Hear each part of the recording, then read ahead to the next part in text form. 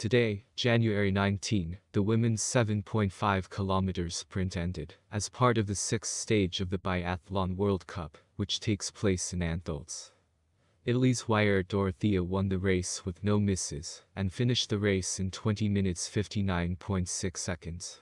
Second place, 2.8 seconds back, was taken by France's Chevalier Chloe, who also made no misses.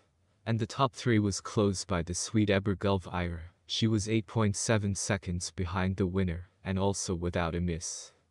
Recall that tomorrow, as part of the World Cup, the men's 10 kilometers sprint will take place. The results will be on our channel. Thank you for your attention.